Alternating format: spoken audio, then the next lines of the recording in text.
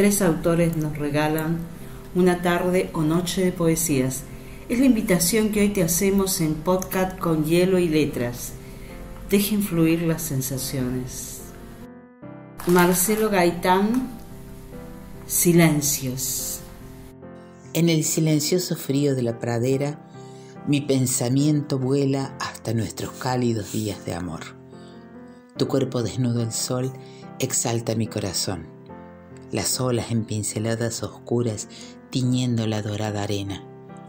Siento mi corazón al desamparo, como el paisaje blanco que me rodea. La nieve cubre mi alma.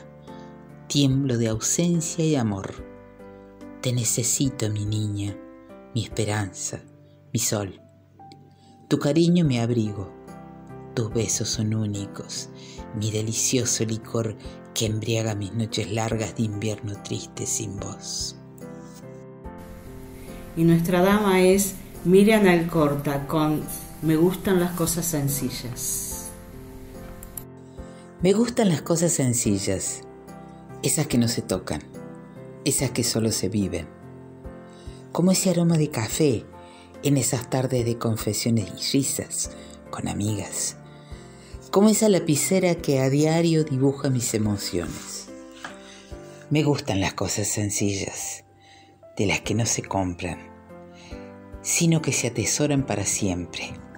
Como ese atardecer, tarareando con esa banda soporte, esperando los Rolling Stones. Como esa Navidad que no faltó nadie, ni siquiera vos como esos días que vi por primera vez tus ojitos y desde entonces morí de amor por ellos. Me gustan esas cosas sencillas a diario. Y ahora, Miguel Pinto, hay un camino. Hay un camino. Hay un camino de gramilla corazonado, tibio y esperanzador acumulado de nostalgias algunos trinos me alientan los sueños ahorados.